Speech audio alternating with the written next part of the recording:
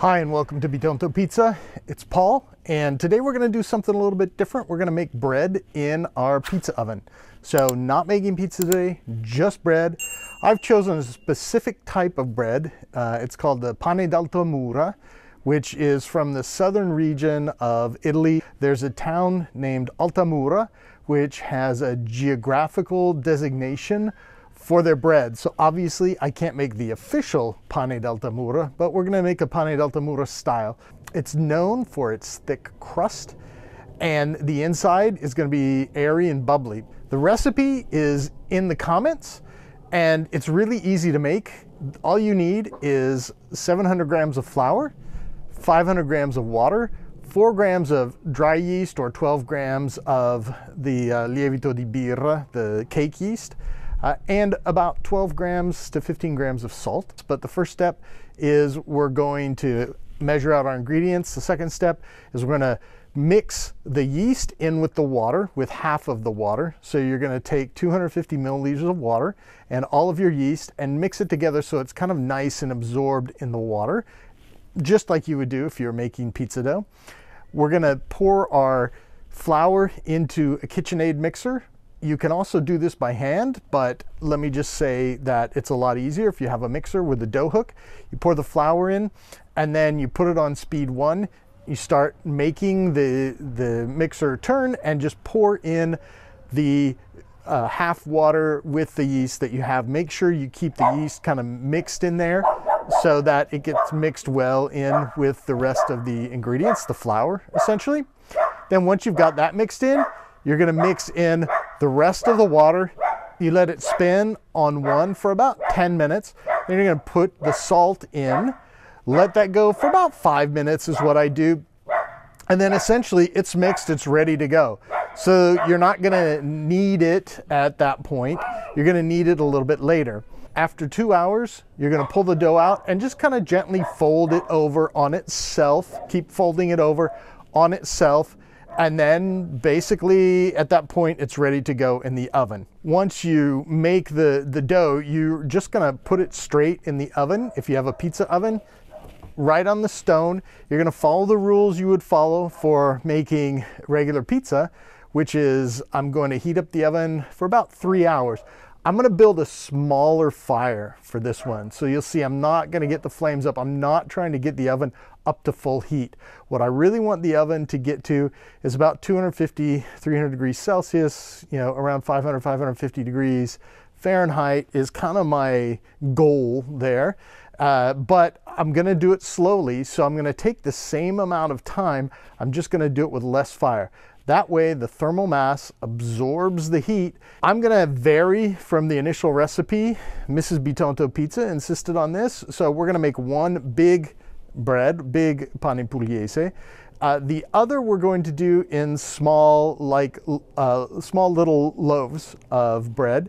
So we'll see how that goes you can really do this with any bread. In fact, you can make regular pizza dough and just see one of my videos for making the Neapolitan pizza dough and do the exact same thing. So I would encourage you to bring your own bread recipe or follow the one in the links below.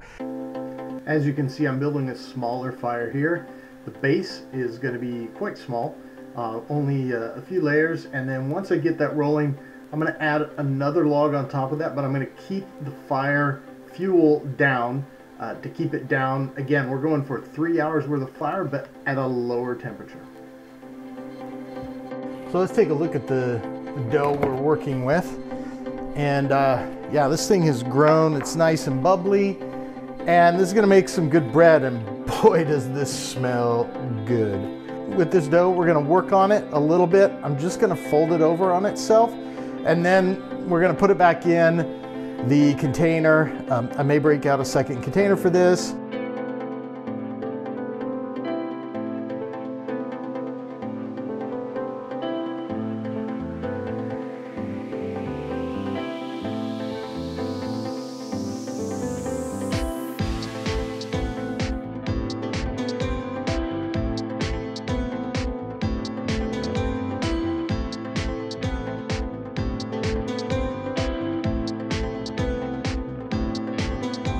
Checking in on our fire now after dealing with the dough.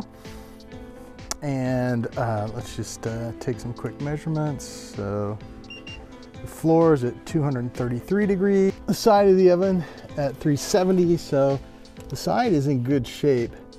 Here we've got 285. Um, we're just gonna let this fire burn for about another 30 to 45 minutes, um, maybe an hour. Floor is about 128 degrees, and that seems to be maybe rising a little bit. I want that to get a little bit more saturated before we're ready to uh, put the bread in. All right, we're gonna check on that again, and uh, it's been about half an hour or so. I think the oven will be ready. So let's just uh, pull the door off. I'm taking some measurements. Yeah, 260, 280, 300, it's a little hot, 240, 210, it's okay. We'll put the bread a little further back in the oven than that, uh, where the floor is decidedly warmer. Our floor thermometer has gone up about 20 degrees and I think that's good to go. By the time I get to uh, the dough out in the oven, then we're probably gonna be at uh, 160 or so. The good news is, if you're a pizzaiolo, you already have the tools you need to handle the situation and making some bread. We're just gonna clean the oven as we normally would. I'm gonna take the bread or the loaves essentially out of the containers and put them on the pizza peel, a little bit of flour. We're gonna slide them in the oven and we'll be good to go.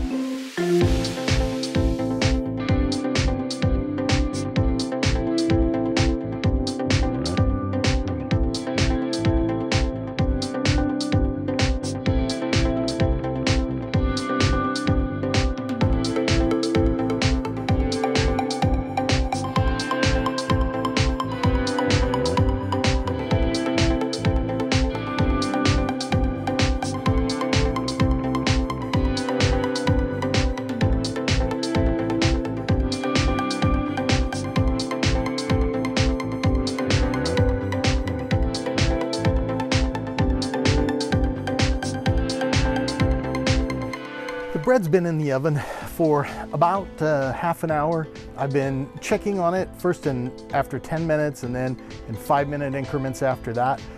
I turned the big loaf of bread in the back and um, the other loaf. So I'm gonna take them out of the oven now and we're gonna see how it's, how it's done. I will note one thing that the oven temperature has dropped to the point where for my next batch, I'm gonna put some low density wood get a flame going so that I can more evenly heat the dome on the top and even on the far side uh, with, a, with a large flame and probably let that go until that wood burns out, flame dies down. Might take 10, 15 minutes to do that. And then we're gonna put the other batch in. So maybe hard to see in this light. Um, these are very hot, so I won't show for very long but uh, the nice golden brown, a little bit of extra flour on them. The next time I'm gonna make sure to use less as I put them in the oven, but this uh, batch is looking good. Hopefully you can see the special message on here, although honestly it doesn't show up very well. This is a UKR. We stand with Ukraine. This is a piece of pecan wood. It's low density, lower density than my oak. This should give us a nice big flame and that'll heat the oven a, a, little more evenly than like a high density wood with a lower flame. You notice that I put the wood straight on the coals. If this oven were heated to pizza temperature, obviously I wouldn't be able to touch anything in the oven like I did with the bread before. But additionally, uh, you would see that uh, the wood would have caught on fire immediately. It's still gonna catch on fire, and that's something you just kind of learn to have faith in as you're doing this.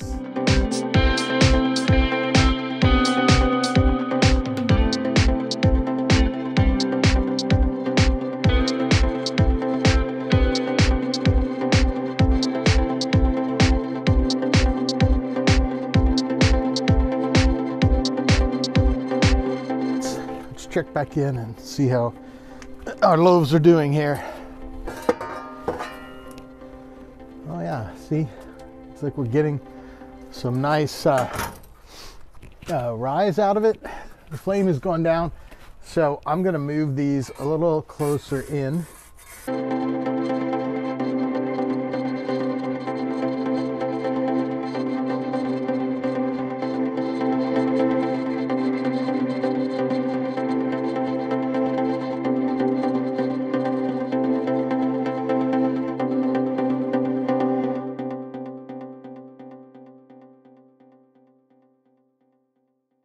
I apologize for the lack of audio. Unfortunately, it couldn't be helped. It's a shame because biting into this bread gives such a satisfying, crunchy sound and feeling. It's just amazing. The internal of the bread is not too soft, it's chewy enough, and it really feels good just biting down into it. A little butter on this bread, and it's amazing. Here I'm cutting apart some of the buns that we made.